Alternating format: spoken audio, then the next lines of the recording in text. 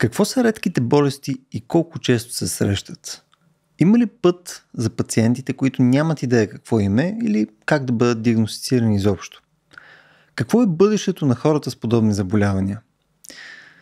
Това е нелека тема, а, най-малкото защото според мен не е тема, която виждаме често.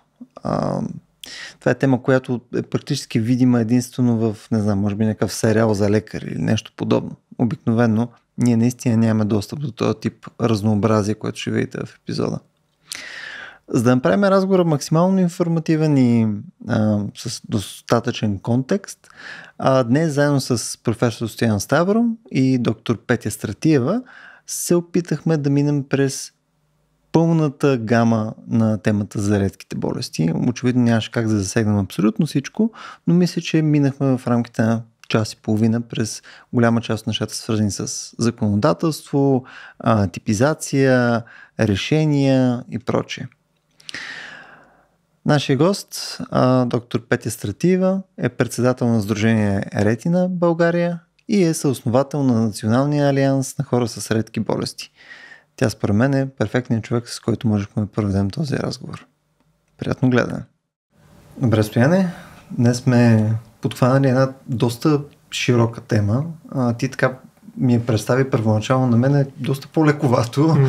а някак си така а, участвам като в а, една своеобразна засада. Нали? Чак толкова, толкова широко нещо не бях очаквал. Всъщност, днес ще си говорим за, за редките заболявания, mm-hmm. А, което нали, аз само по себе си от това изречение нали, имам вече към стотина въпроси относно дефиниции, както може да си представиш, моята любима тема за дефиниции. Имам серия въпроси от към а, а, как съответно а, ги категоризираме, разделяме, как се третират, бъдещи а, третирания и така нататък. Тоест има много голяма дълбочина, чисто свързано с моите интереси. Отделно, Ови, има и твоите интереси, да, които ще трябва на някакси да обслужим по някакъв начин в разговора. Но те не са най-важни, нито твоите, нито моите, но както и да е. Точно така. Така че предавам ти първо да, да хваме да поставим тази рамка, която да. изговорихме в везде същия предварителен mm-hmm. разговор и да представим също и нашата гостенка. Да, Петя Стратиева, да. Ами, а, Любо, да, действително, днеска темата ни изобщо не е лековата. Ние обикновено mm-hmm. имаме такива теми, с които нали, човек може спокойно да се шегува. Не, че с редките заболявания не са се шегували хора, най-вероятно има и немалко вицове за това, но темата е сериозна. Темата е сериозна и е тежка. А, така че, нали, въпреки нали, тази нейна характеристика, ще се опитаме да говорим колкото се може ведро за нея и нали, така да, да видим какви са проблемите и какви са решенията, но преди това да поставим някакъв контекст на разговора, т.е. Окей, ще дадем една дефиниция, даже веднага може да го направим. Преди около 10 на години, представи си, е влязло това понятие в българско законодателство, закона за здравето и рядко заболяване е това, което се среща 5 на 10 000 души, 5 пъти така да се каже, в а, обаче целия Европейски съюз. Тоест, популацията, в която се изчислява, може да някаква част в Европейския съюз да е по-голям процент, нали, mm. частотата на срещане на това заболяване, в друга да го няма въобще, но ако в целия Европейски съюз а, нормата е 5 към 10 хиляди, значи имаме рядко заболяване. Те са над 6 хиляди, даже 6 до 8 хиляди да. стана въпрос тук. И още нови се откриват. И още нови непрекъснато излизат. Тоест нещо наистина много а, съвременно е като проблем в здравеопазването, защото нали, може да се представи човек, че не му обръщано внимание на рядко заболяване, починал от старост или от нещо. Mm-hmm. Нали, обикновено нали, медицината като напредва почва да открива състояния, които са били невидими. Редки заболявания са невидими не само защото са сложни като а, причина, нали, най-вероятно, а, но и като, тъй като не се, не се срещат често. И това предполага, не случайно и нормата е на, на ниво Европейски съюз изчислена, грубо казано, математиката е обобществена, защото предполага една особена грижа нали, за която въпросът е дали България, в частност, това също според мен е един важен въпрос mm. в нашия разговор, е готова да мисли на такова ниво, т.е. да полага такъв тип грижа за хора, които просто а, са в някаква степен, бих казал, и то голяма, невидими, нали, като хора с някакво специфично заболяване. Така че редките заболявания за мен са тема, която тества способността си да се грижим за едни изключително невидимо уязвими хора, които обаче съществуват срещу, с нас, даже някога срещу нас, се оказа, че и ти си срещу мен, ще, ти ще mm. разкажеш за това. Нали, аз не знам за това, но всъщност това рядко заболяване е факт. Така че аз се радвам, че Петя е с нас. Тя ще ни разкаже, тъй като е човек, който е от, отвътре, както и на, на самото понятие за рядко заболяване, така и с регулациите, хората, които търсят решение в България и в чужбина. А, така че тя е човека, който смятам, че ще успее да ни въведе в тази тема по начин, който да я разбираем за хората, които ни слушат mm. и да, да, да видим, що е то рядко заболяване и как а, адресираме този проблем в България, пък и в света. Така че, Петя, ако искаш, разкажи наистина за това а, какво в момента, тъй като има и конкретна регулационна инициатива за промяна в една наредба 16, която касае създаването на комисия, експертни центрове, поредки заболявания и така нататък, но това е част от една инициатива, която Петя ръководи, доколкото разбрах, която е свързана и в името има думичката грижа, която смятам наистина за ключова в нашия разговор. Така че сега ще ни разкаже малко повече mm-hmm. откъде тръгваме и оттам нататък ще продължим. Благодаря за интереса към темата. Много, даже тръгваме от това, че заболяванията са много и все повече и повече се откриват. Между 6000 и 8000 заболявания известни има. Те всички имат своят код нали, по така наречената орфанет класификация на заболяванията. Това е европейска номенклатура и дори вече се коментира как да бъде въобще възприята повсеместно и в другите региони. Това е нещо различно от МКБ. Да, така, в НКБ все повече новите издания ще включват все повече mm-hmm. и повече от тези диагнози. От международната квалификация да, за болест, която е стандарта, така да се каже. Точно така, да. ще включват все повече и повече, защото пример мога да ви дам. Примерно това състояние, с което живея аз, то се казва пигментен ретинит. Ние всички, не само пигментен ретинит, те са много други наследствени дегенерации на ретината, и които са синдромни някои от тях, всички са в една турба, сложена в НКБ у нас, наречена наследствени дистрофии. Ама те някои от тях са прогресивни, други са стационарни. Примерно така наречената кокоша слепота, нали, или а, раз, а, в, а, на цветното зрение измененията. А нали, да рядко заболяване? А, По-скоро не. А, то е... И? Да, има рядко. да, така е. То, както и разстройството на цветното зрение, което също бива, то е пак генетично обословено. Практически също заедно с тях са и други заболявания, пък които са синдромни, засягат освен зрението, засягат и други органи и системи. Всички те са в една турба, сложени, наречена по НКП, нали, по международната да. класификация, която у нас се употребява, да. наречена наследствени дегенерации на ретината. Да. Това звучи така, като че... други. Точно така. Точно, разни. Разни. Да, точно така. И, Точка 9. И, интересното в случая е как когато става дума за, за комплексна грижа, за а, оценка на, нали, на трудовата експертиза на човек, а, съответно а, подход индивидуален а, за неговото интегриране или mm-hmm. асистиращи технологии, да не ги наричам помощ на технически средства, как а, когато всяко едно от тия заболявания има съвсем различна проява, нали, генотип, mm-hmm. фенотип, а, как като те са в една турба, може представете си една телкова комисия да реши, нали, или някой да реши какво трябва да бъде какво помощно техническо средство, да. Технически, да. Това са все неща, които от самото начало до край, когато не бъдат а, а, навързани, не може да, да ги А разкажи разбереш. твоята инициатива, това за което... А, тъй като заболяванията са много, а, както казах, често 8000 и повече, общото при тях е за това, че те започват голямата си част от тях в детството. Много също важно нещо е това, че те са генетични, пак така 75-80%, от което се предполага, че а, много те се унаследяват и лечение за тях ще има почти няма. И това е друго вече, още нещо важно. 95% от тези заболявания за сега нямат лечение. А за тези горе-долу 5%, за които има, то е симптоматично. Mm-hmm. И още едно нещо добавя, за да стигна до инициативата. Mm-hmm. А, това е, че един феномен, който не е феномен за България, той е общ глобален феномен и хайде да го гледаме на все пак в така фокус Европа. А, но и глобално и в Европа се е стигнало до необходимостта заради това, че познанието за тези заболявания е разпокъсано. Тук там го има някои експерти, знаят за едно нещо, за друго, други за друго. Затова се отдавна е признат, са признати вече десетилетия особено в Европа, тук последните 20 години, редките заболявания са област, изискваща международно сътрудничество. Mm-hmm. За да може различните експерти от различните държави а, да работят съвместно в мрежи, за да могат да, да се стигне до това пациента да има засегнатите да имат достъп до съответните експерти и затова е нужно те да бъдат видими. Та защо е инициативата? Инициативата я подехме. Тя се, я кръстихме по-скоро, заимствахме този надслов, сподели, грижи се, излекувай, трансформиране на грижите за хората с с редки болести. Взаимствахме го от надслова на европейските референтни мрежи, за които може би ще стане дума и за тях, надявам се, които стартираха 2017 година в Европа. Това е така те се казват, нали, това е надслова за тях. Инициативата целеше това да се стигне до консенсус за необходимост от нормативни изменения, поради факта, че нашата нормативна уредба е много устаряла, независимо от това, че 2014 година е влязла тази наредба.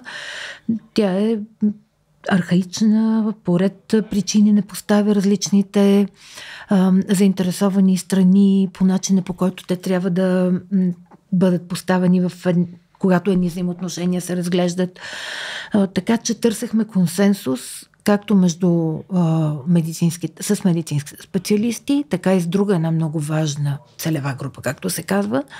Това са власти имащите, а, нали, институциите, политиците, за да а, стигнем до съгласие за това, че е необходима промяна на тази. Аз мисля, че успя да, тази инициатива успя да организира около себе си такова съгласие, защото буквално преди една седмица, може би, беше заседанието на комисията, правната комисия, нали така? На здравната, на здравната съвместно комисия, с социалната. С социалната, точно така. Да. И, има, и има напред. Тоест има, О, да, доколкото да. разбирам, консенсус от присъствието на, на, на това и заседание. И с ваша помощ. Да. И с ваша помощ. Имаше... Има консенсус, включително и от страна на министъра, защото да, ние в крайна сметка отзад, зад всичко това стои пациентското застъпничество. Да. Мен а, само да. а, предложението ми е, тъй, тъй като влизаме вече в една част от разговора, която според мен също е много важна, но преди все пак хората, които ни слушат сега, да могат да оползотворят тази информация, мисля, че е редно малко да се върнем още една стъпка на, назад, сега като сме си контекстуализирали, не всъщност за какво ще си говорим, нали, какъв е залога в цялото това нещо, нали, да, твоето участие, Петя, съответно в а, подобряването на обстановката нали, за подобен тип а, заболявания и така нататък. Също все пак да си поговорим. Нали, ясно е, че не сме а, научно-популярно шоу нали, тук, а, така че да обясним нали, за всичките видове болести, неща и така нататък. Нали, няма го дидактично, но според мен пък е полезно все пак, за да знаят хората точно за какво говорим. Нали, да, да дадем няколко различни примера, през които а, наистина знаем какво представляват редките болести, защо, защо са близо 8000, нали, смисъл, от какво се заражда нещо подобно. Смисъл, е ли е подхода към тях еднакъв? Имаме ли съответно някаква методология, по която може да диагностицираме такива неща пренатално и така нататък? Тоест, искам все пак да минем през малко фактология и през малко... Да, за да не разчитаме единствено на сериала Доктор Хаус, нали? Точно с това започнахме в иконичния предварителен разговор, защото нали, най-вероятно повечето хора последния път, когато са чували за повечето такива по-особени заболявания, не знам, що ми дойде на къва конкретно болестта на Хантингтън, нали, е било вследствие на хаос. Или е било вследствие на някакъв роман, където е използвана като е, някакъв плод девайс. Много известен физик. Да. Също, който е заболя, който е болен от това. Нека да започнем с това, пример. да, това е...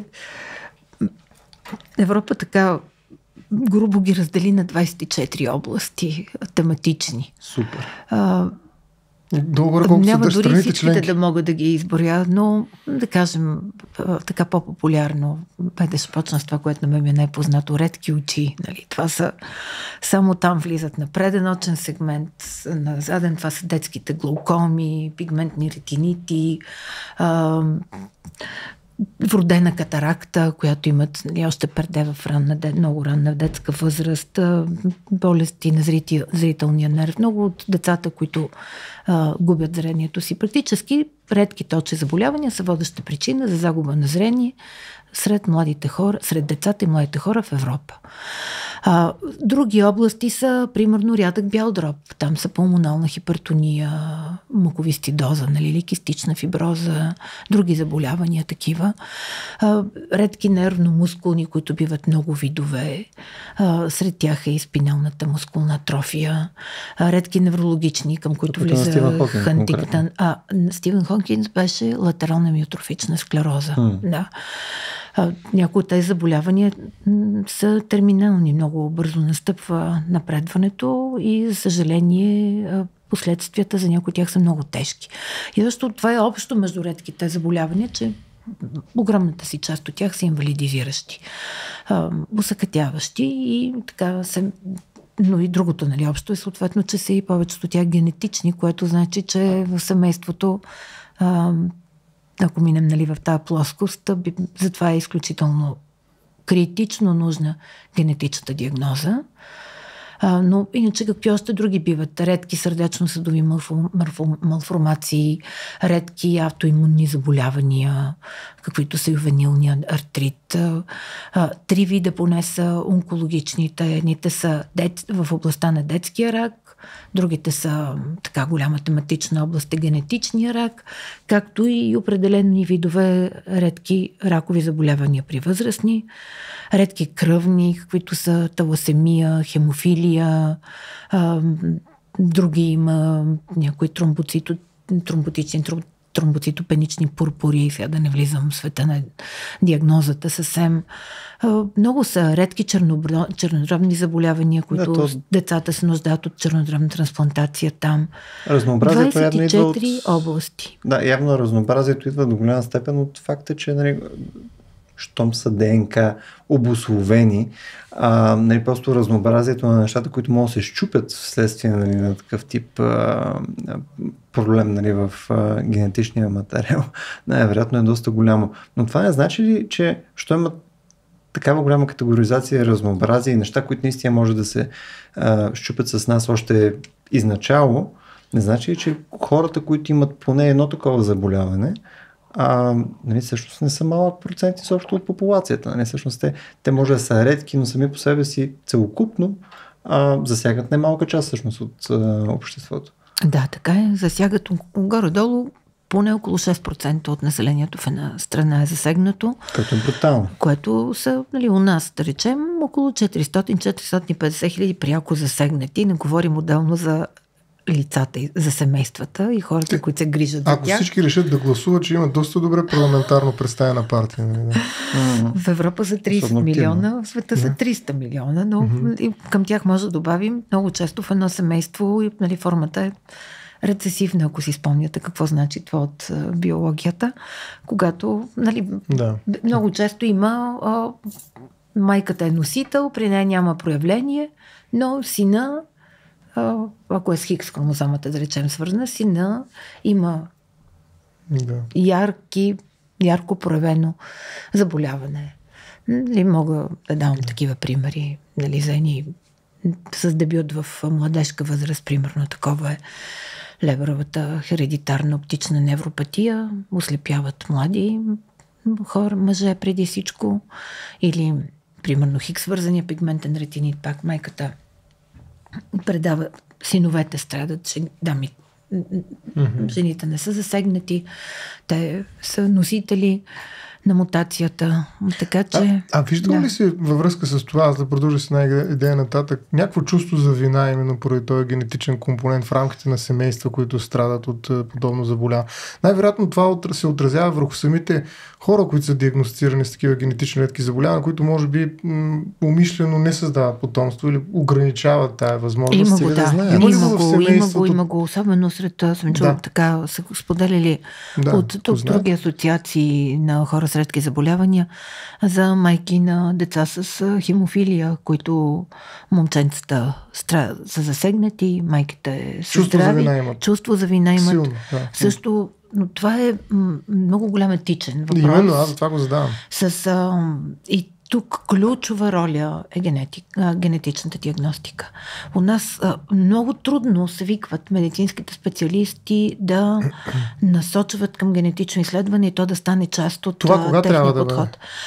Ами, практически, когато а, се усъмнят, се усъмни лекаря, сега не може да си мислим за GP-то, нали, че то трябва да се усъмни, има нали, хора, които могат да се усъмнят, но почти никъде така не им е вменено.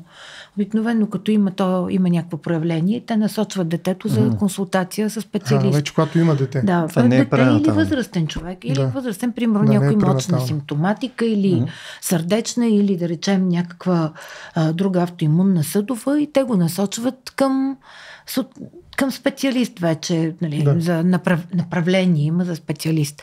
Когато много вече по-голяма е вероятността самия специалист да се ориентира.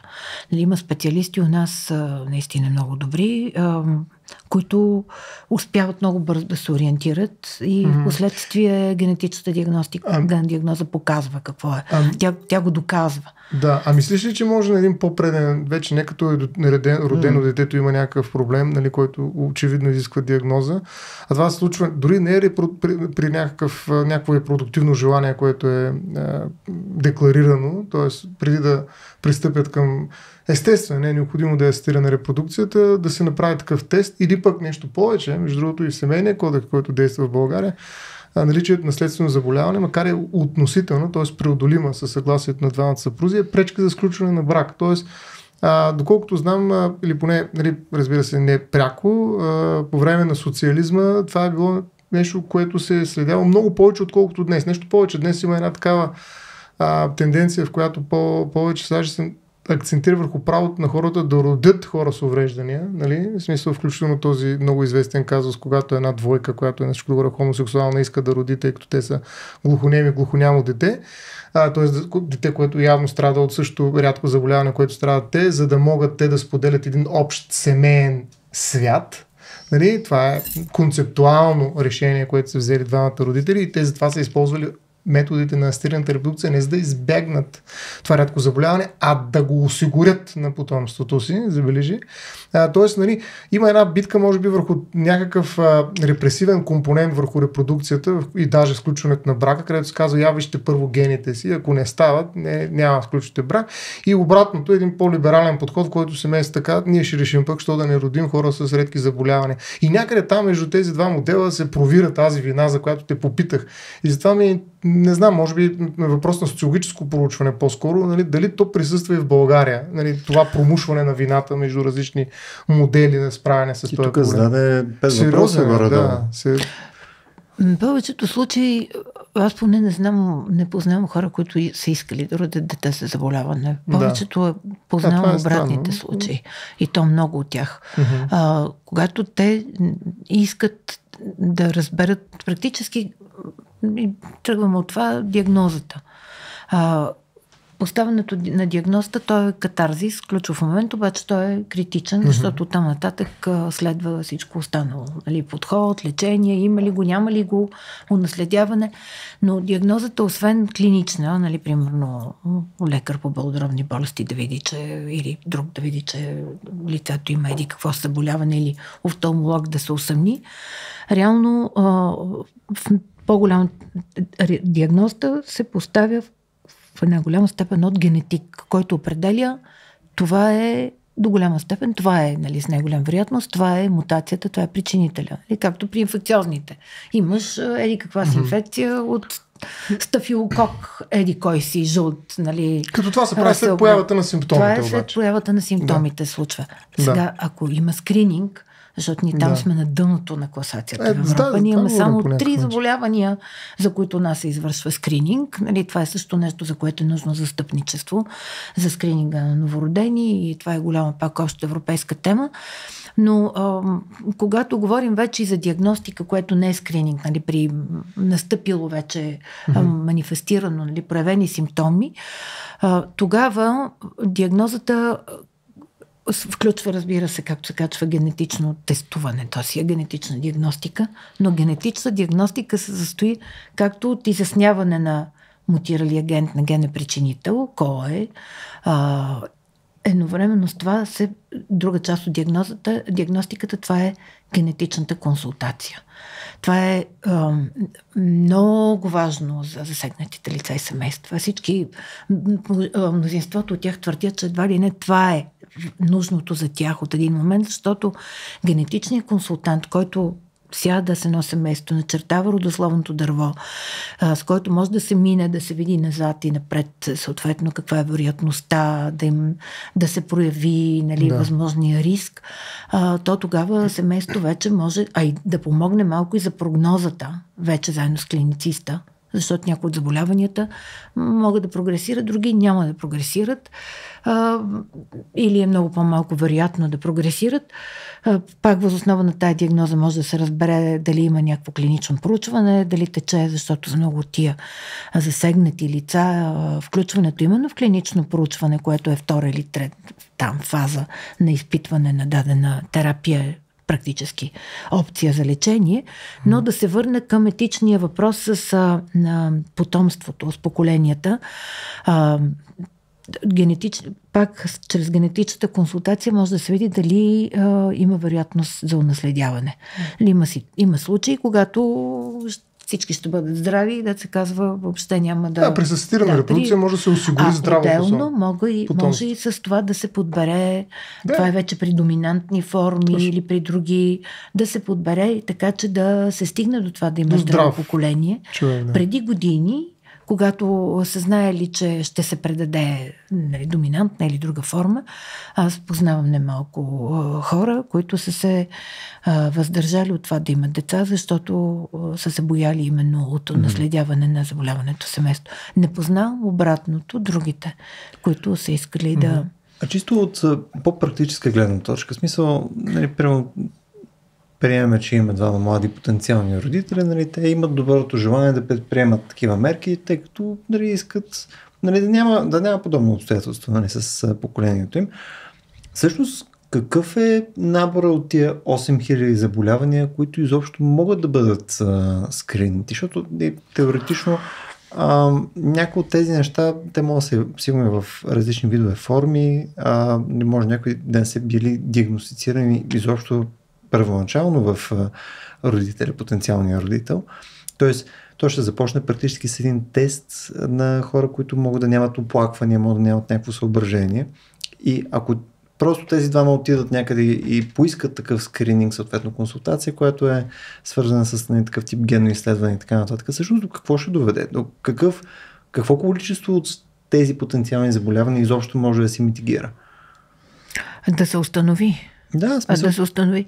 Сега в различните, пак от различните терапевтични области различно. Примерно, пак така очните, което ми е най-познато, някои от тях зависи, примерно, ако са на ретината,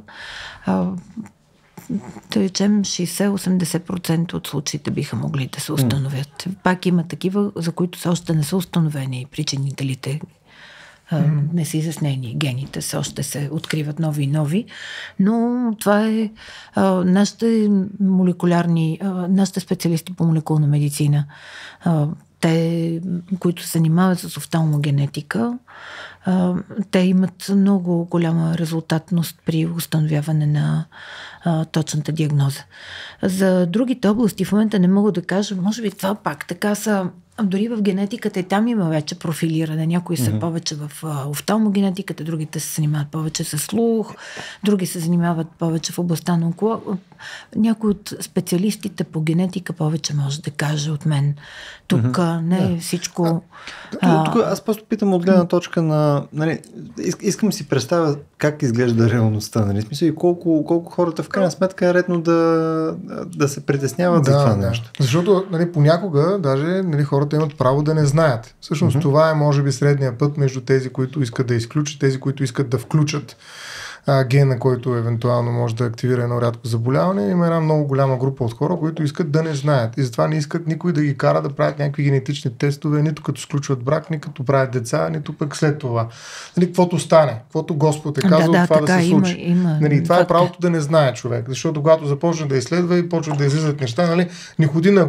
Има една така българска, много хубава българска типична, може би да не знам какво значи типична българска поговорка, че не, отиди на док, не отивай на доктор, че вземат, намерят някакво заболяване. Ще намерят нещо. Пък, като, да. като не ходиш, нали, няма заболяване. Ами пък когато установено, а, когато установено и м- семейството би желало да има здрави деца, е, то тогава генетичната да. диагностика Но... и вече консултацията, защото е. едното е ужаса, олеле, какво ще стане. Да, Друго да може да е, информирано решение седнат, да се даде. Да, и, да се и обяснят, че а, вероятността да го има в а, семейството, да, може да бъдат носители, нали, но вероятността да. да се проявят симптомите е много малка, защото така, нали, това сега няма да влизам в обяснения, а, но пада една голяма част от Разбира се, страха. Даже в българско законодателство единственият случай, в който можеш да избереш при асистирана репродукция пола на детето, е за да предотвратиш генетично заболяване. Тоест, нали, българският законодател е либерализирал нали, тази намеса от страна на инженера, учен, нали, когато инвитро извършва оплождане и събира клетки като очевидно по някакъв начин разчита генома им, че можеш да избереш пол. Това е единствения случай, в който може да се избере пола на детето, нали, когато се извършва асистирана репродукция. Така че, наистина, ако имаш информацията предварително и знаеш, че страдаш някакво заболяване, реално има много инструменти, които включително законодателя е отключил за теб като възможност, за да се справиш с този проблем, ако това, разбираш, на медицински е възможно. А, като информирането от експерт, който ти обясни, е ключово, за да вземеш такова решение. Нещо повече, мен се иска да, да кажа още една много важна характеристика, която идва и през думичките, разлика между редките и останалите заболявания, че ето, Пете каза направление. При всички заболявания, някакси регулациите мислят за някакъв път, по който някой ти дава направление, този, тъп е, този път е оттъпкан, да. Минали са преди това от хора от този път и ти всъщност само се биваш направляван по него, нали, има кръстовища, GP, експерти и така нататък лица, специалисти в съответната медицинска област, но ти се движиш по отъпкани пътеки, има инфраструктура. Нали, дори Точно инфраструктура на знание. у нас, ние за това... Редките точно няма такава няма инфраструктура и затова заговори за диагностични няма. групи. Нали? Нещо, което беше альтернатива на направленията, диагностичните групи, но те, нали, какво правим? Можем просто да групираме по двама, по трима, по пет, по 10, по 100 и така нататък, но няма инфраструктура на знанието, бих казал, какво да направя. Нали, не може да, към кой да отида, на какво направление, по какъв път да тръгна. И, и това е според мен ключова разлика в начина, по който се регулират а, редките заболявания и останалите, което може би има а, причина да е така. А, тук по, има има голяма разлика между нас и примерно в а, хайде, Германия, Италия, нали, да кажем, или дори в Чехия. Да. А, или в Естония. Там и в Словения. Значи, Словения. там? Ами там има път а, има на пациента. Има, то практически заради това ги има тези онлайн общности и групи на mm-hmm. хора, които са се сдружили. Защото така беше и в нашия случай. Ние така създадохме Рати на България. Ние се познавахме е, някои хора от 20 години. Защото а, всички бяхме посещавали една професорка, много, която може би само тя в България се занимаваше клинично с такъв вид заболявания. Сега вече нещата стоят по друг начин. И тъй като ние трябваше да откриваме буквално топлата вода за себе си. да биете. И да, и много от тях преминаха някои от нас и в крайна сметка ние бяхме научили вече достатъчно много, открили къде какво има, при кого и и бяхме мрежа от хора, които си помагахме е, един на друг. Мрежа. А, и затова тези онлайн общности са толкова силни, защото, пак казвам, знанието е разпокъсано, експертите са разпръснати на различни места.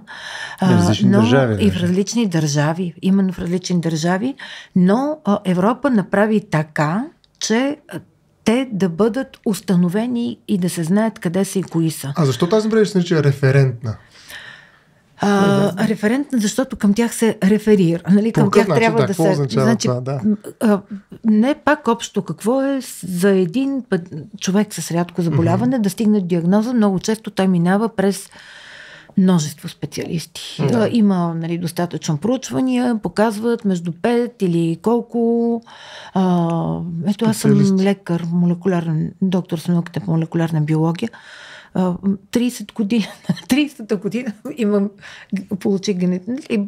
Имах възможността да установя каква ми е генетичната диагноза. Просто офталмолозите никога не ми бяха казвали, или някога преди години ми бяха казвали, че, а, хайде да не казвам никога, но преди много години ми бяха казали в Германия, че в Тюбинген, нали, в Германия се извършва генетична диагностика и трябва, трябва да отида. И Конкретно у за нас- офталмо- офталмоложки да, състояния. офталмологичните състояния. Тук също до преди 5 години водещи офталмолози, които безкрайно ценим, а, които са установили нали, състоянията на мнозин от нас, а, те не боравеха, не знаеха към кого да те насочат Тоест за 5-6 генетична диагностика. човека, специалисти трябва да те прегледат дори лесно. може и 20, И 20, и включително да. може и друго. Може да те изпратят някъде при... А, защото когато няма яснота, а, много често има, за съжаление, спекулация. А, могат да те изпратят при кого ли не, в някои много лъскави клиники а, извън Евросъюза, а, където някой може много така добре да ти продаде диагноза. Да, нали, се възползва. Да лечение, продаде което диагноза. не съществува. Не диагноза, И лечение след това, И дори да. да ти обещае чудеса. Mm-hmm. Струва ми се, че на територията на Европейския съюз вече това е по-малко възможно. Mm-hmm. Не, че там няма. Но извън Европейския съюз сред нас има а, мнозина, които са изпращани, няма да казвам къде, които а, са вложили средства с хиляди в евро, а, някои от тях десетки а, и примерно поставен му имплант, никой не може днешно време да открие къде този имплант, дали въобще му е поставен, но общо взето трябва да има път, защото когато а, няма надежда, а, има много да. продавачи на Да. надежда. Добре, това е свързано, извинявай, ще Да, заповядай. а, частично е свързано с а, нали, то- то- този път между експертите, нали, които са нали, там 5 до 50, а, той е свързан с липса на компетенция или липса на протокол. Тъй като а, това, което не е, е моето отново лоишко наблюдение в случая, е, че нали, голяма част от медицината в крайна сметка се обославя от подходящи протоколи, които нали, дори вследствие на липса на подходяща диагностика или съответно налична апаратура или съответно необходима компетенция и така нататък, протокола принципно позволява да може да се стигне по-бързо и по-ефективно до подходяща диагноза. А то е и, и така, но може би да го нагледя. А, тези европейски... Как а, въпросът в Европа конкретно е решен, но това нещо сега ще бъде така глобализирано на базата на тези експертни центрове. Това значи, че в определена, примерно в областта на неврологията, да речем, или един пример с, а, значи следва да се определят в една определена държава кои са експертите. За, пак така, според а, критериите за експертен център, а, които така са основани мрежите, експерти са тези, които от а, определена диагноза или, да речем, тематична група виждат много на брой пациенти. Примерно в една клиника в а, друга страна извън България с по-голямо население, за да се каже, че някой е специалист, примерно по сарком на Юинг, той трябва да види, да вижда минимум 500 пациента годишно. Такива. Нали, на една С потвърдена територия. диагноза. Да, а, и да ги обслужва, защото а, и да може да се грижи за тях, защото а, факт е, че много специалисти изграждат а, а, това е тех, техния кариерен път. Те са специалисти в определена област, те виждат много такива пациенти, Работят с нали, такива работят с тях, занимават се с клинични поручвания, в мрежа с други. Те се познават, когато ходят на форуми европейски и световни. А, много от тях даже казват, аз вече знам какво ще излезе, какво ще бъде публикувано, така че това са несъмнено експерти, които а, знаят много повече от другите. И това е а, в пове... първо това е първоначално това е национална компетентност, което на български язик значи а, у нас а, тази наредба, въпрос на 16, тя нали, има на хартия, но практически в много от областите не се знае кои са експертите. България. И, България. Да. И ам, няма воля от страна на а, властите, не е да воля. списък. Те да, а, не, те да изискат от съответните области, mm-hmm. да, примерно в областта на офталмологията, да речем, да кажат, има нали, специализиран съвет по офталмология към министра, да се обърне министра към тях, да каже, ето господа офталмолози, прецените, преценете сред вас, посочете, нали, вижте там, издебатирайте го, кои са тези сред вас, които са експерти по а, редки наследствени дегенерации, нали, на, лед, на, кои са по болести на ретината, кои са по болест на предния очен сегмент, кои са повече на невроофталмолози, ще се окаже, че са примерно във Варна, в София на едно-две места и толкова.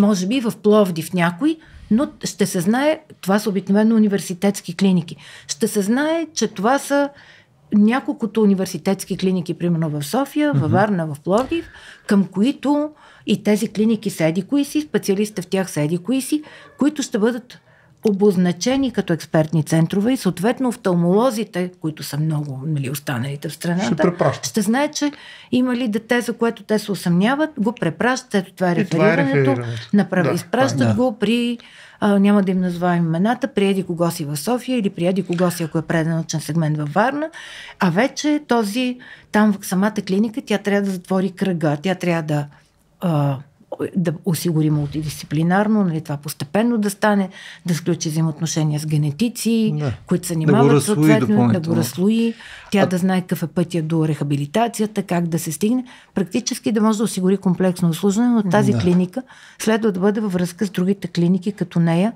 в съответната мрежа в Европа.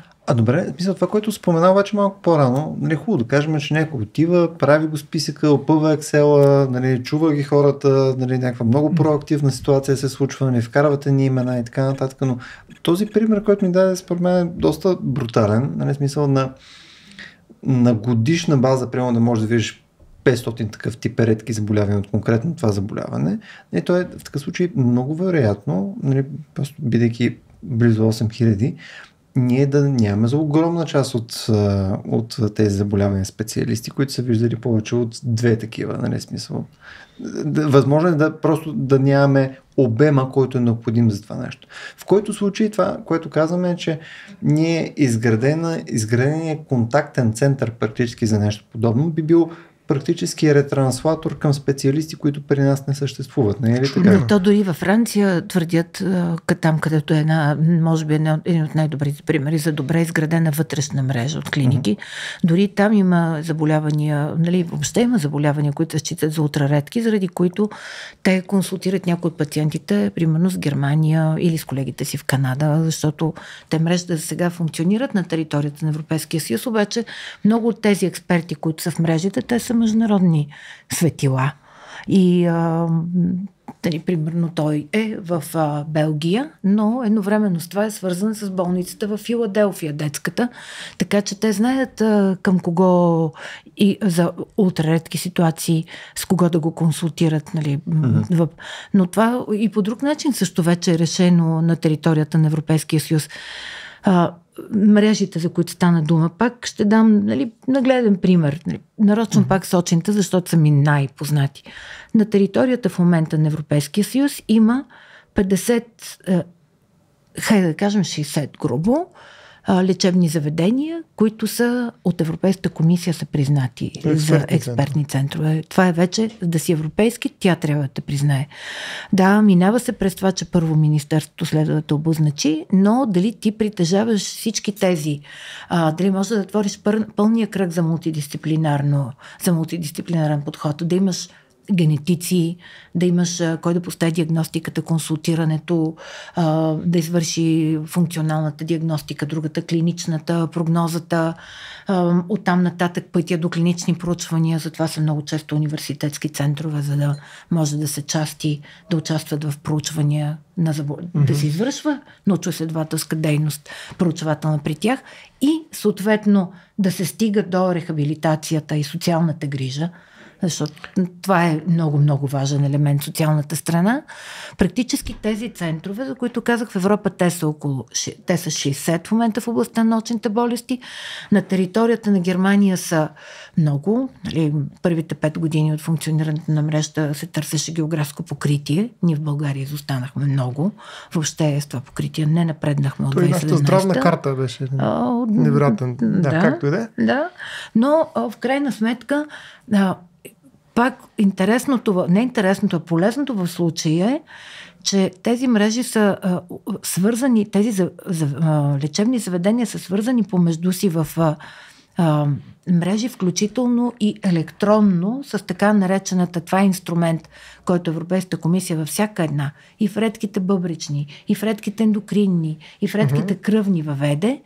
Това е така наречената клинична система за управление на пациенти или за обгриждане на пациенти, което означава, че а, в България, тук примерно в точка, а, лекаря, който би следвало да се грижи за теб и да разбира горе от това заболяване, той е този, който трябва да вкара твоите данни, досието, всичките ти там скенери или каквото трябва в тази електронна система, за да се организира панел и не пациента да пътува, информацията за него mm-hmm. да пътува. Така yeah, той да има достъп до експертно мнение. Аз тук Защото искам... експертно мнение може да го има, представете, експертно мнение може да го има. Той го има. Не го има във Франция, в Белгия, да. в Литва може да го има, в Естония, в Чехия, Аз но точно... просто човек трябва да стигне до него без да ходи там. Първо да. по Досието, през по досието. досието. Ни много често. Документален аватар. Знаете, че го правите mm. много често. Да. Някои хора пращат на познат досието, който той ходи да търси да, лекар. Да, да, тук, да. Няма, тук самите лекари консултират да. за мнение. Аз точно по това исках да те питам, между другото, нали, отново продължавайки нали, този пример с нали, няма прямо при нас конкретни експерти, даже няма и а, по дадената област, нали, точно такъв тип експерти, които не нали, се вижда и толкова често случаи. А, но, примерно, те ако бъдат обозначени нали, като, като пътя, нали, през който трябва да се мине за диагностика и така нататък. Точката, точката да, от, от която започва вече да. съответния път. Това не значи, че в съответната точка трябва да бъдат изградени пък други компетенции, свързани с някакъв първоначален скрининг. В смисъл, нещо, което те все пак да могат да подготвят допълнително на терен, тъй като те ще имат достъп до пациента и няма да е, няма да е единствено необходимо нали, някой да попълни един въпрос. Нали, най-вероятно ще се изискват някакви по-специфични типове изследвания, най-вероятно някаква методология ще да се приложи. Тоест, а, част от проблема, който тук се получава и тук ми е въпрос по-скоро, не е ли вследствие на това, че нали, има и допълнителен ангажимент от тези потенциални точки да покрият някакъв критерий, за да може в последствие те наистина да бъдат точки за подобни заболявания? И това не е ли свързано с хубавата българска дума инсентив? Нали, смисъл, защо да го направят изобщо? Нали, смисъл, да. Тъй като причина, нали, то трябва да има някаква или финансова, или съответно целева, или нещо е свързано с идеологическа. Мисля, трябва да има някаква причина, най-често финансова също. Това е едно от предложенията, които сега отправихме с, за промяна на законодателство. Практически у нас има такива специалисти в някои области, uh-huh. които са части от европейски референтни мрежи. Ние имаме седем клиники, които участват в пет референтни мрежи. Някои от тях са, примерно, два от тях са в една и съща клиника. Занимават се съответно с редки метаболитни и с така е случая при професор Ивайло Търнев. Той има ръководи експертен център европейски по редки метаболитни заболявания и, и, и ръководител на центъра по редки невро, по наследствени невромускулни заболявания. Но те, включително тези, които са в европейските мрежи, тази година претърпяха одити от страна на Европейската комисия по много показатели. И между прочим, нещо, което също е важно да се знае, че а, засегнатата страна, пациентите, те участват в този процес на оценка на качество на предоставянето на медицинската услуга. А, и все е, повече ще участват. И все повече ще участват, защото виждаме много специалисти, които пишат във Фейсбук колко велики неща са направили. Но нямат лайкове. Да, нямат. Точно след се си мисля, да. че на други места са Друго... местата, които те оценяват. Не случайно ви го казвам това. Така че а, те, а, от тези точки, тези специалисти, те го работят това в много отношения вече по-скоро като хоби и на ръба на а, енергията си вече, благодарение на личното си време, да, да. защото нямат е никаква, подкрепа, мисля, никаква подкрепа uh-huh. от страна на Точно държавата. Това е свързан въпрос. Да. Никаква подкрепа от страна на държавата и сега едно от предложенията, които имаме, е промяна в закона за здравето, така че да бъдат финансово подпомогнати експертните центрове. Тъй като един, тези нямат болниците практически, когато виждат малко направи пациенти, пак сега, това ли, няма да влизаме подробно в това, какво сме разписали, какво сме предложили. Може да се види конкретика в предложенията за нормативни изменения и мотивите към тях. Но, хайде да кажем от мотивите, следва да има финансов интерес, за да може mm. да бъдат заплащани тези услуги. Нали? Те, ако не са заплащани, а, практически, както и методични указания също То, са необходими. става хоби, както казваш. Да. Емисия по-скоро. Хобито, но тук аз mm. по-скоро смятам, че това са хора, които разбират отговорността. Проче, да. да, да.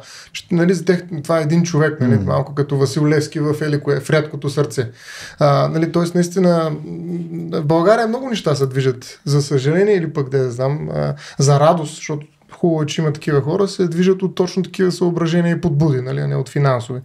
А, но аз как да отбележа, ние малко го минахме това нещо, но има и списък на, на самите бол, за бол, болни, така да го наречем. Тоест, е, защо, защо те са важни, включително в обратната връзка при одита, оценката. Ами защото те сами по себе си, макар и това да изглежда малко странно, са ресурс. Нали, колкото а, повече такива хора а, бъдат достъпни за тези експерти, Нали, толкова повече информация и съответно толкова повече знания има за тези редки заболявания. Затова е много важно всъщност да разполагаш с по-голям а, кръг от а, хора, които, т.е. да ги диагностираш, защото те са един и същ брой. Нали. Реално въпросът е колко от тях ще станат видими за здравната система и ще стигнат до лекар, който да работи с тях. А, откриването им е буквално като откриването на редките метали. Нали, според мен от гледна точка за развитие на науката, говоря, на медицината. Нали, тъй като те съществуват и те са там, но много от тях остават а, тотално незабелязани и поради тази причина дори не използвани като ресурс за информация, за знания, за развитие на тази експертиза, която всъщност се превръща в център, около която се извършва нали, това сглобяване на референтната мрежа, за разлика от пътеките, които са стандартно очертани в медицината, която занимава с заболявания, които не са редки. Така че аз бих казал, че наистина е много важно да имаме информация не само за центровете на експертиза, но и за центровете на самото боледуване, т.е. там, където е обекта на изследване. И това изисква нали, наистина добра информация, поддържане включително и чрез такива досиета, нали, които да са максимално пълни на всеки един от хората, които по някакъв начин са диагностицирани, а, за да може тази информация да бъде вкарана. Това е кръвта, според мен, на, на тази референтна мрежа, защото тя ще я научи на, на едно по-добро адресиране на проблемите на хора с а, такива редки заболявания. Знам, Пете, дали това нещо ами, да, го има, да, го усещаш е, като част от е регулацията. Но... Практически. То, а, смисъла на тези експертни центрове, освен ли, да консултират, а, там се развива, доразвива познанието. Mm-hmm. Там се изготвят, защото отделните държави си имат, някои от държавите си имат клиничен консенсуси за както казваш ти, протокол, нали, за подход, за грижа при грижа, разбирам от диагностиката през всичко останало, за съответно съответния вид диагноза. Или има, примерно, в мрежата по очни болести се разработват в момента, и това е пак със срок даден от Еврокомисията, клиничен консенсус за а, подход при а, слабо зрение. Това mm. не е слепота, слабо зрение при деца и клиничен консенсус за слабо зрение при възрастни. Напълно различни подходи. Това звучи Както и много често важно, се да. много често има сред в Европа много добри специалисти. Те се, не е смисъл една държава да си го има, а да може да се стигне до а, изработване различни специалисти, в случая участват и специалисти от Канада и от Штатите, които помагат на европейските колеги, нали, медицински някой, който знае да. а, как се пише, той фасилитира подготовка на такъв консенсус, защото, пак казвам, може Италия да си имала свой, но тук въпрос е и италианските специалисти, и немските и други, които участват да го изработят този консенсус и да има възможност всички останали държави да го възприемат. Нали, така че тези а, мрежи... Това е като добра тези... практика. да, вид, добра, точно който така. стане медицински стандарт. Точно нали? така. Да. И там се изработват съответните така да се каже, алгоритми нали, за а, диагностика, лечение на определените диагнози, както а, това за регистрите стана дума преди малко. А, има държави, които са имали много пълни регистри. Един да. на Excel, друг на някаква друга система. А, други въобще никакви регистри. На, примерно, на дори на време. Да, да, на, примерно тази а, дама професор, която преди години сме посещавали, тя си имаше едни тефтери и вътре като отиде, примерно, внука, дядото е бил пациент и тя може да го намери. Нали? Това mm-hmm. е бил регистър. Така да се каже, тя си е тръгнала и тефтерите с нея. А, но, когато е напуснала. Но сега и, а, смисъл е от една страна да ги имат данните нали, на пациента, те, mm. всички мрежи, това е друг инструмент, който голяма инвестиция от страна на Еврокомисията, да има регистри в мрежите, първоначално базови а, и държавите отделните да си вкарат вътре спрямо зададени критерии данните. Пак за това нещо се обучават съответните контактна точка, нали, примерно да. в Александровска болница, кой как ще попълва регистъра, нали, за това си е пак средства, пак европейски грантове, за това да бъдат обучени тия специалисти какво да попълват. Но без тия данни, едното е без допълнителните, допълнителните данни, които се събират, нали, това биобанкиране, вече говоря самия информационен материал, взиман, генетичен, защото много често той се взима и се хвърля някъде. А, утре ще дойде нова терапия. Пак ли ще ги викаме същите тия хора? Пак ли ще им взимаме ДНК? Не. Нали, не ние, ми генетиците. Това нещо тотално отсъства много Именно, често и затова че... в мисленето на медицинските специалисти. Ето, много от тях ще станат професори, защото вече си събрали случаи, но и браво, нека да станат. Но мисълта за това, че те тези данни трябва да ги да внесат в регистър. На разположение на следващи. А, ти попитай за нашия регистър. Да. Ами, в нашия, той има и един регистър у да, нас, за да. който ние по закона за достъп до информация изискаха колеги и наши. Ами в него има, малко над хиляда да. души, включително там са, да, там са и тези, които вече са починали. Ага. Така че. Да. Тук само ще отворя да. една скоба, защото това беше много интересно. Аз относително наскоро пък получих някакъв интересен прозорец в този свят, свързан с по-скоро дигиталната патология тъй като те имат сходна проблематика, че нали, първо те боравят с ужасно много данни, нали, серия от тия данни просто те няма как да ги съхраняват дълго време. А, тези пък данни, които ги съхраняват, е образна диагностика, mm.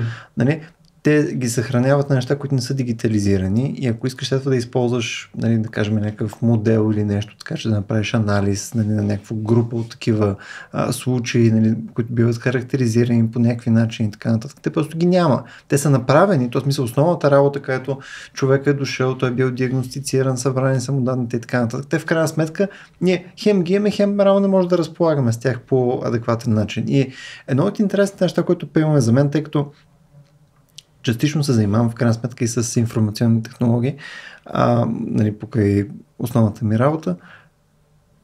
Изглежда, че навсякъде събирането на качествени данни и съответно имайки на добре категоризирани данни е нещо, което води до скандално количество ефективност и съответно опосредства сварянето на себестойностите вече за диагностициране, в този случай нали, конкретно по такъв тип неща, третиране, способността да се намират нови лечения и така нататък, да се изработват нови протоколи. Изглежда, че ще е свързано, поне в моята глава, много повече с това ние да можем да работиме и да запазваме и да унифицираме също така данните между различните точки, заинтересовани страни и така нататък. Защото ако само събираш данни, Пълно ги събира по един начин, пете ти по друг начин, аз по трети начин, ма те не са със същите стандарти, не са със същите критерии нали, за качество и така нататък. Да. Келфа и да. нали, а, Точно така. Нещо. Ами много, ето на, ти така да се каже, хвана бика за рогата.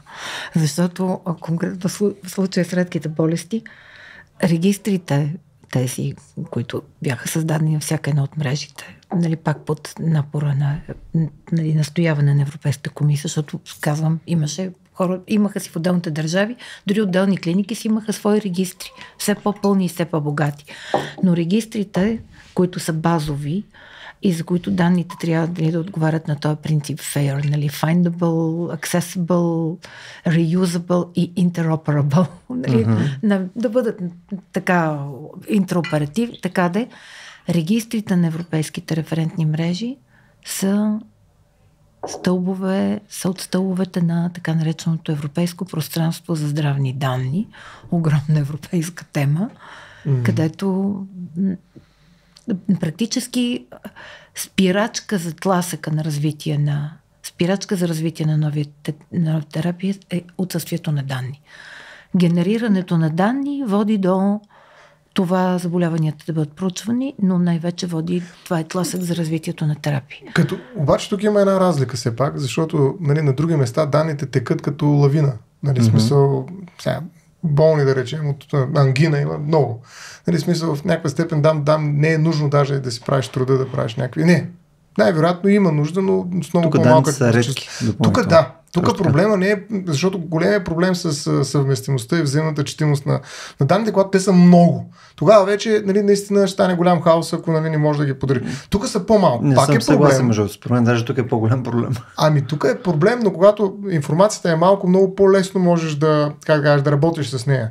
Тоест, според мен, усилията, които са нужни за да оправиш нали, бакиите на едни по-малко количество данни, по, са по-малки, отколкото ако имаш нали, потопи от данни, които се изливат всеки ден, където данните не са толкова скъпи. Докато тук тези данни сами по себе си, независимо от формата си, бих казал, са скъпи. Нали, смисъл, пак казвам, те са като редките метали. Значи mm. редките метали се правят специални нали, съоръжения, кариери, мини и прочее, за да ги екстрактваме, за да ги и пречистваме и така нататък. Тоест ние събираме по един много специфичен и много скрупулезен, mm. много внимателен начин и много скъп начин скъп на тези редки метали. Разбира се, аналогията си има граници. Нали? Редките заболявания са по-скоро мини за информация, която може да използваме в експертните центрове. Но, но за мен нали, тук голяма, големия проблем е да не изпуснем тази информация. Окей, ако сме я хванали, обаче сме я затворили в а, някаква база данна, данни, които са, не са точно като другите, това също е проблем, но не е най-големия проблем. Тоест най-големият проблем е да хванем максимално количество хора, нали, които да бъдат как се описани и да превърнати в ресурс. Да, аз трудно мога, мога да, да, да си представя нали, кое е по-големият проблем, ако трябва да съм е, честен, но... Първият проблем е да не имаш информация. Е, После е, да я подредиш. Така е, така е. Смисъл, а, усилието в крайна сметка, най-малкото гледна точка на хората, които биха искали да получат диагноза, очевидно е приоритет. Нали, смисъл, важно е хората да знаят в крайна сметка не с какво, с какво боравят. И в този контекст, ние тук си говорим от известно време много за началото на, на целия процес. Нали? За точките с някаква доза компетенции, за потока, който продължава нататък, за данните, които евентуално могат да бъдат придобити нали, от дадените изследвания и така нататък. И как цялото това нещо би било финансирано през мерки нали, на държавно ниво, на паневропейско ниво и така нататък. Но, но тук е първата точка. А, смисъл, може да е тъп въпрос, но основният разход, свързан с пациента, не, започва ли те първа след тая диагностика? Смисъл, не е ли основното нещо, което е в тежест вече на бюджет, а, нали, след момента, в който знаеш, че ти си с конкретно това нещо и ти да можеш да приложиш правилното вече лечение или не лечение, в случая грижа. Да. А, и кой го поема този разход също? Uh-huh. То, това е натам отива въпроса. Да, и кой го поема този разход? А, да, те се оказва, че една голяма част от разходите си, и пак си има вече проучвания, нали, такива коста филнес, нали, за стоеността на самото заболяване, че за конкретни заболявания, че се поема в по-голямата част от пациента и от семейството му практически при обгрижването виждате за какво става дума. Нали, диагноза най-напред, нали, ако mm-hmm. може би скрин, но диагноза, която състои в функционална, клинична, фенотипно изясняване, генетична, генетична консултация. Оттам нататък е прогнозата. Как то ще се развие в бъдещето. Дали ще бъде стационарно, защото възоснова на това семейство може да вземе информирано решение за и човек може да вземе информирано решение за живота си или семейство може да реши да се премести да живее в друга държава, защото тя е по чувствителна, е по-чувствителна или да речем а, в, а, тя е като среда а, осигурява повече mm-hmm. възможности за а, засегнатия човек да изяви своя потенциал. Нали, за пълноценен трудо, живот. пълноценен живот да има, отколкото тук нали, много примери могат да стъдат. А, много. А, и защо в, а, и в корпоративни, и в къде ли не в света, а, в а, професионалния свят има работещи хора, нали, много не, има хора, които не работят и зависи какви а, стратегии самите те са възприели и до каква степен средата е а, чувствителна. Но, например, в IT, защото стана дума в IT света, има а, сред специалистите незрящи, които се занимават с а, тестване на веб-сайтове и на други дигитални устройства. Аз познавам хора, например, незрящи. Той ти съм убедена, че ги познаваш, някои от тях стоян, които са, а, при тях всичко им излиза от пръстите. Те всичко правят дигитално. А, mm. Такива неща, които а, много а, добри потребители на смарт устройства не познават тези функционалности. Mm. Така че, пак казвам, да се върна към самите заболявания, диагноза, прогноза и по-нататъчна грижа. Грижата може да се състои в това да има лечение или да знае а, така семейството или засегнатото лице, а, кога на хоризонта ще се появи, появи терапия или какви точно в момента проучвания вървят за него и да знае какви опции има. То може да, ли, да реши точно в тези онлайн групи. Много често се изпращат повече ние българите гледаме, но особено а, нашите такива с а, същите заболявания, нашите, не искам да ги нарека събратия, но хайде да кажем от нашата общност, там много често те се изпращат. Хайде стискат палци, когато някой вече е решил да влезе в клиничо проучване. Тук просто у нас не се правят такива.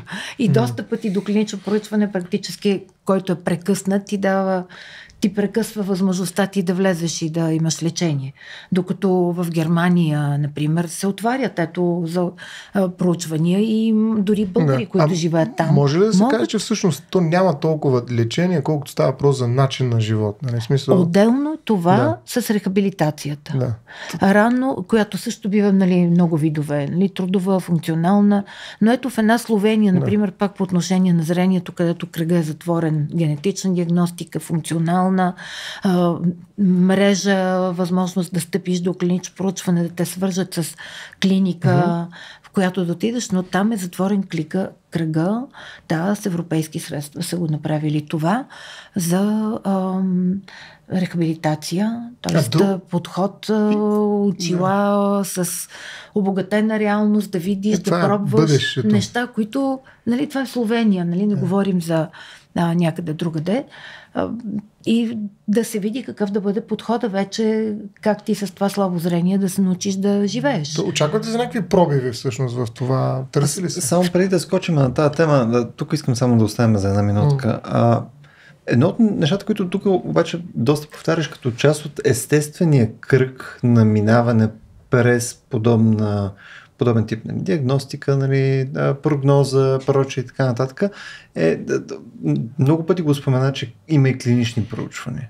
Тоест да участваш в клинично проучване, което потенциално нали, да ти яде някаква, най-вероятно, по-различна прогноза нали, за в бъдеще, ако се окаже, че то е успешно нали, даденото нещо. А като цяло клиничните проучвания, в смисъл тук коригирайте ме, ако съм в грешка, те не са нещата с безкрайно висок процент на успеваемост. Те в крайна сметка говорим за неща, които са по-скоро с много нисък процент успеваемост и по-скоро са нали, нещо, което е полезно за да, нали, за, да се, за да се опита, особено при тежки заболявания, нали, където в крайна сметка това може да е едно от нещата, които дава, надежда. точно което дава надежда на човек, което дава нали, някаква доза оптимизъм, но не е нещото, което в крайна сметка, като погледнем големите числа, като погледнем многото диагнози, като погледнем тия всички 8000 а, видове заболявания. Редки. Да. Нали, те, те няма, да, няма да мръдне толкова много процента на успеваемост. Не, не и в момента, не и в, не и в рамките пилно на следващите 5-10 години за хората, които в момента ги интересуват това нещо. Но, Греша ли в това? Практически, за да се стигне една терапия да бъде разрешена, нали, когато става про за авангардни терапии, ги разрешава Европейската агенция по лекарства и те по този начин стават получават разрешение навсякъде на територията на Европейския съюз. Вече друг е въпросът mm-hmm. дали достъпа не приключва обаче с това, защото има и други вече неща, които са свързани с цени и регистрация и така нататък. Но това е след като се мине да. клиничното поручване. Това е след като е Европейската агенция дала разрешение mm-hmm. за употреба.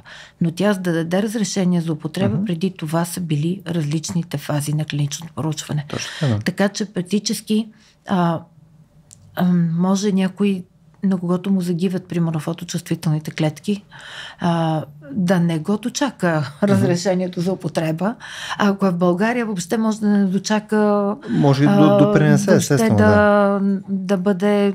Забелязан. За, забелязан или ако не е забелязан, то въобще да не може да, е, да не се заплаща, защото по време на клиничните проучвания ти все пак не заплащаш, ако примерно има генна терапия. Аз имам познати в други държави по света, които а, участваха в а, им постави, нали, съответно имат генна терапия поставена за определен вид рядкоочно заболяване, което още няма разрешение от Европейската агенция, но при тях в една немалка степен процеса на загуба на зрение е стациониран. Mm. Така че то, когато излезе, съответно ще струва много. Нали, говорим за терапии, yeah. които са в порядъка на стотици хиляди евро. Е там нататък ще стават засегнати. и милиони. Нали, някои от тях са вече и за милиони, а не два-три. Нали, това е публична информация, колко струва генната терапия за спинална мускулатрофия, mm. колко струва генната терапия за а, хемофилия А, колко ще струва. Така че говорим за, за милиони в евро. А, така че клиничните проучвания несъмнено са средство и са терапевтична възможност. И, но, бих казал отново тук, че нали, обикновено, когато клиничните проучвания са някаква форма на бизнес, което и да си говорим, за тях стои инвеститор, който иска след това да продава нали, някакви разрешения за употреба, лекарства, методи за лечение и прочее. Само, че най-важното, което осигурява този бизнес случай, го няма. Това е масовостта. Нали, ако ставаше въпрос за вакцини, mm-hmm. за които чакат, нали, да речем, 2 милиарда хора, нали, ще виждате как, колко бързо стават клиничните изпитвания и какви огромни средства могат да бъдат инвестирани да се открият невероятни вакцини. Но когато става въпрос за редки заболявания, нали, хората, mm-hmm. които след това нали, ще е купят, да, да. т.е. ще бъдат част mm-hmm. от пазара и по-скоро от търсенето на пазара, mm-hmm. всъщност повечето от тях, като че ли май-май, особено в България, ще са участвали в клиничните изпитвания. Тоест, реално те вече са а, преди да възникне пазара, са били потребители на съответния продукт. Така че за мен клиничните изпитвания наистина са, а, тук са по-скоро не са бизнес, или ако са бизнес, то бизнес трябва във всички случаи да е субсидиран, т.е. без нали, на места, както и стана въпрос на, на някаква институция, било то европейска или държавна, това всъщност няма как да се случи. Това, а, това просто не е бизнес. Не може да работи както работят останалите клинични mm-hmm. изпитвания, просто защото не могат да очакват, нали, че след това съгласен, ще спечелят някакви пари. Кой знае какви. А може и да има редки заболявания, но предвид факта, че те са редки, това означава, че пазара е много малък. Което означава, че може би даже и пазар няма, цялата тази работа е по-скоро някаква форма на социална помощ, нали, на някаква форма на социалност. Той, за мен нали, най-важният проблем при редките болести, освен нали, съществуването на ясни решения за хората да не се чудят къде и какво да правят и да се преценяват излишно, т.е. да могат да взимат информирани решения за начина си на живот наистина, най-големият проблем е именно тази а, ексцентричност в заболяване, което ние отказваме да видим, но тя продължава да изисква от нас все пак нали, да отчетем също на такива хора и да положим една много специфична грижа, която е много рядка, точно толкова колкото са редки тези заболявания тяхното диагностициране.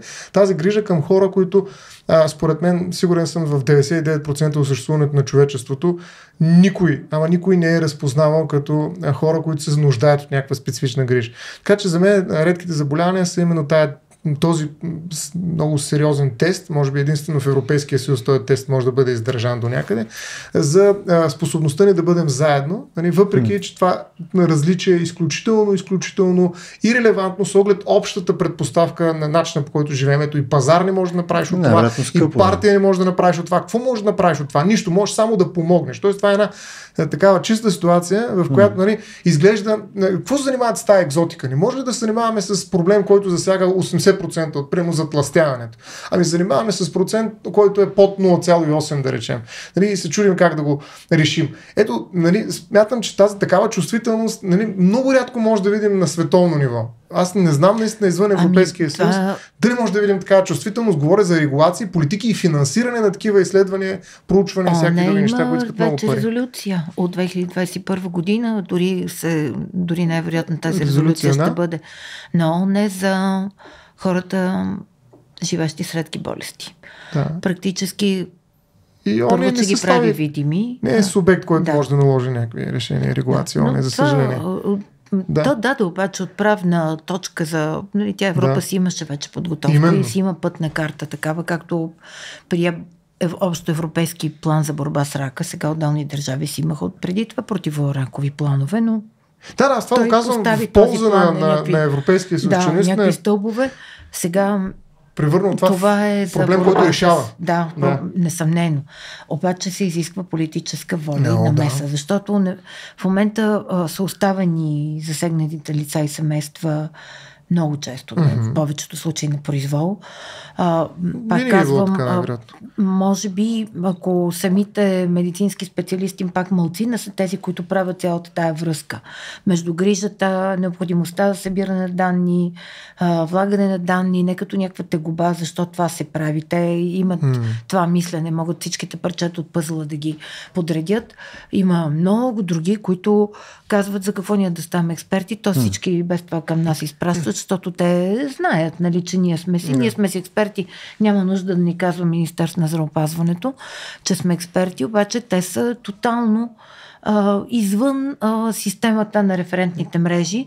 И въпросът ми, какво ще спечелят пациентите, ако сме, е все едно ние печелим ли нещо, ако имаме ли ползи да сме членове на Евросъюза или не сме, или нямаме.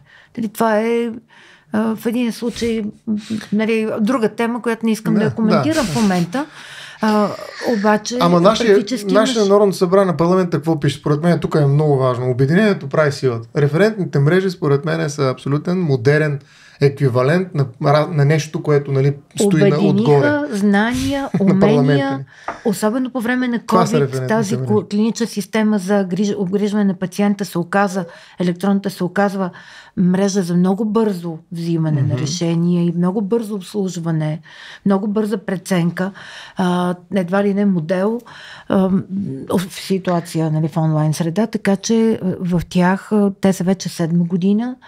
Те а, генерираха, продължават да са генератор на указания, на клинични консенсуси, на стандарти с добра практика. Ето, вече регистрите са изключително важни при тях, но те в момента са на път в този пет, втория петгодишен период започна, сега започва от тази година едно съвместно действие на държавите членки за, как звучи, интегрирането им в националните здравеопаз... е, националните здравни системи. Задача.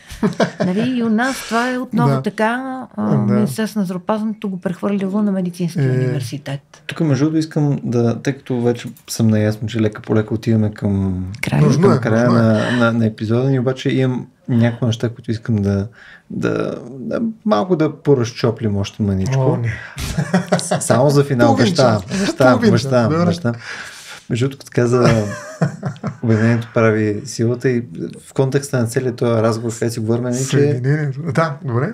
Нали, говорим за това, че все пак някакви количествени натрупвания трябва да има, за да има ефективност mm-hmm. и така нататък. И само стои и си мисля, всъщност Съединението прави силата е economy of scale, което е ами, брутално. да, форма е. Една от... А, ето имах два малко по-такива научно-езотерични въпроси. Нека така и да закръсти или не? Единият е, тъй като нали, ние, ние много говорим за клинични а, проучвания. А, и това е доказано работещ модел. В смисъл, аз тук в никакъв случай няма кажа, че съм скептик или нещо подобно на, на, на процеса на То очевидно това е единствения начин, по който ние в момента можем да доведем нещо до успешен резултат в рамките на модерната медицина. Само, че ам, изглежда, че голяма част от нещата, които правим в момента са нали, особено когато разглеждаме нали, такива редки заболявания, че те трябва да са много, много, пак хубавата българска дума, къстъм, много таргетирани, много специфични, точно това, което Стоян пък спомена, нали, те са а, нали, с много потенциална мъничка награда накрая и съответно те трябва да бъдат ценообразувани практически на някакви абсурдни цени, нали, там милиони в някои случаи.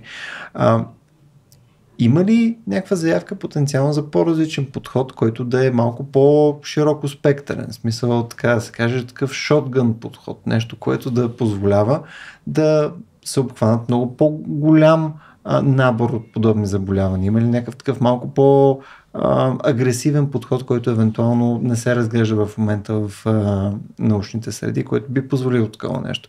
Питам, а, тъй като наскоро бях говорил с един специалист, който се занимава с бактериофаги, примерно. А, което то не е свързано естествено с а, редки заболявания и така нататък, но едно от нещата, които той описа е, че начинът по който се провеждат а, в момента а, такива клинични проучвания, начин по който в момента е събрана информация за третиране с бактериофаги и така нататък, под някаква форма ограничава използването им в момента, тъй като нашия процес и съответно начинът по който работят нали, този тип а, а, организми не позволява адекватно да може да се използват в модерната медицина. Просто не сме се адаптирали към спецификата на този тип нещо. Тоест, има ли нещо подобно, което ще ни позволи, аз не твърдя нещо за полезността на бактериофагите или нещо такова, просто го използвам като пример. Има ли нещо подобно, което може да си представим, че може да е пак хубавите български думи, game changer в, в, в а, тази посока. Нещо, което ни много може би повлияло, не както би повлияло управенето на една от тези 8000 болести с клинично поручване. Терапевтично остава дума най-вече. Терапевтично, терапевтично ли? ами терапевтично това са генните терапии и авангардните терапии, които се задават. Нали, генни, клетъчни, Нанотехнологии, примерно. Да, такива. Все повече. Ако преди 20 години много по-малко. В момента заради информацията и заради проучванията нещата са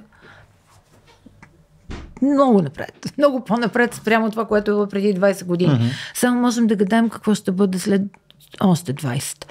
А, друго, друг геймченджер, несъмнено, са асистиращите технологии. Uh-huh те а, са в състояние да а, при една добра рехабилитация са състояние да, когато не става право за терминално, ако не става дума с терминал заболяване, защото има заболявания, които са а, някои са живото променящи, обаче други са живото прекратяващи. А, така че при живото променящите заболявания, а, нали, при живото прекратяващи, нали, тези от които се умира, бавно и постепенно или по-бързо и постепенно, при тях трябва несъмнено да има лечение, иначе си отива човек. А, нали, пример, латералната миотрофична склероза и други такива заболявания, които изискват трансплантация на бял дроб, иначе ще загине пациента или, или други такива трансплантации.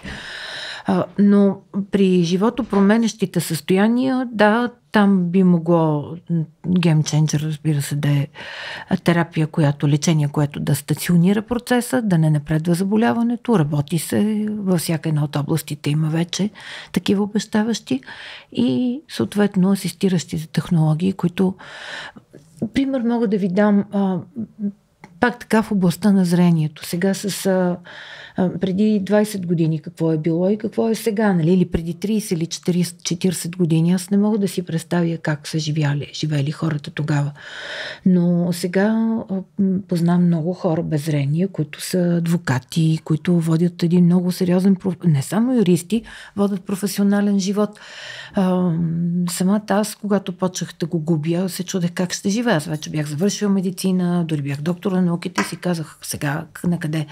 А, не си представях, че мога да си възстановя всички дигитални умения, че дори да ги надградя mm.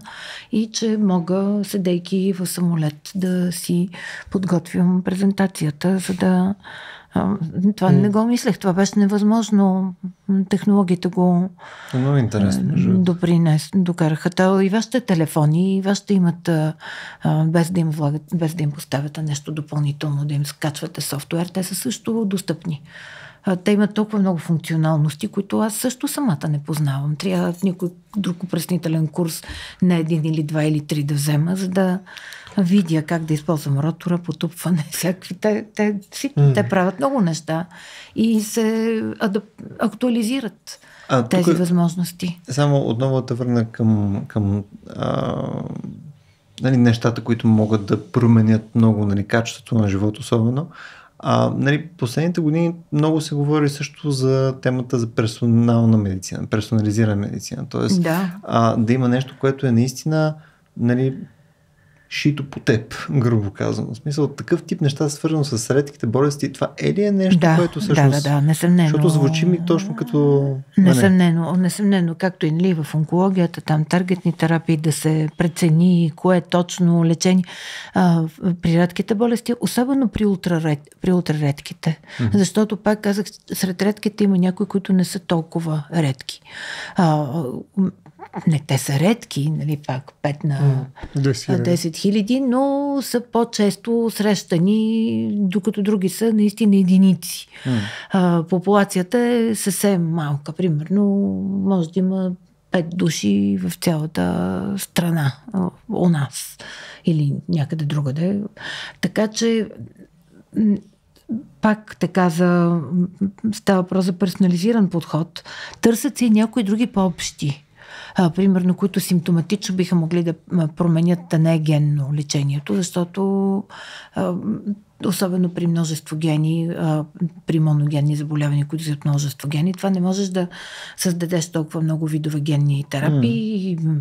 И, пак там има и нали, точки накрая, такива резултати, нали, по които се а, репортите outcomes, нали, да се каже, които се отбелязва дали една терапия наистина може да постигне е, това, което се търси. Нали. По различни начини се измерва това нещо, това разбира се, нейната ефективност, но технологията несъмнено са геймченджера, мисленето и мисленето, разбира се, особено от страна на а, политиците. Да, Защото не говорим тук а, за социалност, нали, някой да седи на здравната система и да чака. Нали, когато тия, тези хора са интегрирани и могат да дават продукт. Не са продуктивни. Да. ами... Познаваме, мисля, че всички хора, които са здрави и прави, имат пет работни дни в живота си. И в това време други, които имат изкрити увреждания, за които не знаем и които са много м- успяват в това, което правят. Да, и ще да дам един пример за такова изключително много твърде рядко заболяване, което а, в някаква степен имаше потенциал да взреви базисни положения в а, българската правна система, какъвто е срасналите близнаци. Нали, имаше един такъв случай в Сливен, който събираха пари да отидат в Лондон. Нали. Раждат се две деца, които споделят общи органи, т.е. Нали, сиамски близнаци и прочее. Това са изключително редки mm. а, случаи, които нали, най-вероятно влизат в някои от класификациите на, на тези редки заболявания. Това е един единствен случай. Или състояние? Еми, сраснал близнак да споделяш с а, своя брат, сестра, нали, един общ стомах, да речем, едно mm-hmm. общо сърце или да не знам. А, те, пак, те пак биха могли нали, в рамките на тия мрежи да се третират, да. защото смисъл mm-hmm. на тия мрежи и хоризонтално да се свързват, защото много често се изисква а, намеса на друг специалист. Ама това е специфично заболяване, което със сигурност води в случая, както беше при нас. Нали, това беше, не знам, може би знаете, той е казус, той беше излязъл mm-hmm. в медиите. А, коментираше се много сериозно. Министър даже много коментирали. Коментирали сме по друг повод. Да. Нали? Ето това е един... Нали, в случая се... Защо? Защо? Регулациите по принцип имат а, така рефлукс, регулативен, бих казал, или нормативен рефлукс, когато видят ексцентричен казус. Тоест всичко, което е рядко, по принцип е под въпрос дали може да бъде регулирано. Нали, затова може би тези референтни мрежи разчитат точно на една прецедентна а, форма на познание, при която някой знае, попадал е, виждал е много, има такъв казус, има прецедент, по който може да подреди картите нали, в съответната ситуация и да изиграе някаква игра. Нали, т.е. да осъществи някакво лечение. А, специално континенталната правна система не обича такава форма на игра. Нали, тя иска отгоре надолу, нали, да има едно общо правило, принципи, които да приложи надолу, нали, на базата на вече някакво общо правило. А, а при редките заболявания, изобщо при ексцентричността като феномен, нали, тази регулативна нагласа не работи. И затова според мен, не знам как е в САЩ, но в САЩ, където системата е по-скоро прецедентно право, нали, може би имат по-голям, а, така, по-голяма настройка правилна за това да регулират и редки заболявания, ако рекат да го направят. Докато а, в а, нашата континентална правна система, всъщност ние имаме проблем с тази ексцентричност на казусите. Има казуси, които просто ние не смятаме, че се заслужават да бъдат регулирани, защото от тях не може да излезе свирка, нали? от това дърво не може да излезе. Не може да излезе хубава правна норма, която да прилагаме в последствие нали? По един и същ начин от тук нататък за напред, нали, защото сме открили правилната регулация. Реално тези редки а, случаи, както и редките заболявания, създават именно такъв регулативен проблем. Нали, правото не знае, както беше и в този случай, като се редят двама човека в едно тяло, колко mm. акта за раждане, колко е генета дадем, колко имена. Нали, базисни неща се оказаха под въпрос. Нали. Така че, макар че това е нали, наистина свръх а, казус, който на практика беше решен по някакъв начин, но а, имам предвид с това, че редките заболявания и тяхната регулация е нещо много специфично. Не е, а, как да кажа, и въпрос на воля понякога. Тоест, защо не го уредиха, нямат воля и така нататък, те, които биха могли да го. Става въпрос за особена експертиза. Както има нужда от експертни центрове за самото заболяване, според мен трябва и специфична експертиза в областта на регулациите, когато регулираш подобен тип редки редки явления. Нали, защото тези редки явления нали, не се поддават по този начин, по който ние сме свикнали на регулация. И затова е трудно, според мен, и затова ще бъде и трудно за в бъдеще, но персоналната медицина няма персонално право. Нали, може да сключиш договори, там това е нещо като персоналното медицина нали, в право. Нали, сключиш договор, имаш някакъв път, там конкретни условия, при които, но това не, не може да го искаш от държавата, нали, освен mm. под някакви различни специфични форми, може да намериш аналози. А, така че това искам да кажа, че а, редките заболявания са предизвикателство не само пред медицината, но и пред правото. И то много сериозно предизвикателство. А както има много голям недостиг на специалисти, експерти в областта на медицината на редки заболявания. Така смятам, че има много голям недостиг, недостиг на специалисти и експерти в регулацията на, на екстравагантни и нали, такива по-специфични редки казуси. Така че това трябва също да се отбелязва. Според мен не винаги това прачо от пъзела се нарежда на правилното място. Наистина не е въпрос само и на воля. Нали, трябва да има и някакъв... Регулаторна експертиза. Да, някакъв подход и някаква рефлексия по отношение на това как се регулира точно тези неща. И според мен, ние все пак в случай използваме референтната мрежа от юристи в Европейския съюз, нали, никой от България няма да открие топлата вода, но за мен нали, този начин, нали, чрез рефериране към центрове, към специалисти и този много специфичен, мек подход всъщност на регулация е едно изобретение, което се заслужава да бъде изследвано не просто като нещо, което има ефективност в лекуването на редките заболявания, но и като нещо, което може би се заслужава да види каква ефективност има и в а, ситуацията и изобщо в полето на а, редките регулации, бих казал. Аз тук, смисъл, с риск малко да се отклониме, а, в случая такъв тип а, нали, общества, грубо казвам, нали? или обобщение от организации и така нататък, укрупнение на организации, това не представляват ли в общия случай клъстерите, не, които обикновено са ти клъстери покрай бизнеси, покрай НПО-та и прочее, които са с конкретна цел. И обикновено тази цел също имаш и влияние върху политически а, нали, там, уклони, върху законодателство и прочее. Смисъл, това не е ли... От клъстер разбираш пясъчниците, не? Тези, дето търсят някакви регулации или и, по-скоро? Клъстер имаш, но имаш пилно AI клъстер, имаш клъстер за здравеопазване. Те регулират нещо, което ще се повтаря често. Разбираш ли, правото регулира повторяемо неща, които се срещат. Uh-huh. Нещо, което може да разчитаме, че ще се получи описа, и утре, и от други ден, да, и в други Това, ден. което описа е не, от моят къс да. достъп нали, до подобни клъстери, е, там имаш точно този обмен между различните такива клъстери в различни държави, които нали, те си обединяват експертиза, така че да се опитат на локално ниво също да въведат неща, които да им опосредстват на тях целите, които са на дадения клъстер, което практически е това да. ще се случва. Да. Не, има такива референтни експертни мрежи, нали, според мен, във всяка една област на науката, нали, mm-hmm. със сигурност. Въпросът е, че тук специално трябва да се разбере и самото затруднение на регулациите, според мен. Нали, защо няма регулация а, нали, на срастаните близнаци. Защото няма в нашия, yeah. примерно, кой е закон за някакъв закон, без значение, защо не пише изрично колко граждан, акта за закон за гражданска регистрация, колко акта за гражданско състояние, акта за раждане специфично, се издават на хора, които са сраснали близнаци. Mm. Еми, защото това се получава веднъж. Нали, смисъл, или на, на 100 години, или айде на 10 години. За веднъж на 10 години, може би пак трябва такава норма да се направи. Нали, ако веднъж на всеки 50, 10 000 случая само 5 се поставят, нали, въпросът е дали правото ще се даде зор да регулира и дали ще очаква регулативен ефект от подобна правна норма. Така че а, този проблем, който го има в медицината е въпрос на експертиза там, нали, на информация. При регулацията е добри въпрос на дали да задействаш някаква политическа воля, за да регулираш този случай. Ми той има само един, една смяна на пола, да речем в България. И сега за тази една смяна трябва ли да правим закон? Или за повече? Колко смени на пола трябва да има в България, за да направим закон за смяна на пола в България?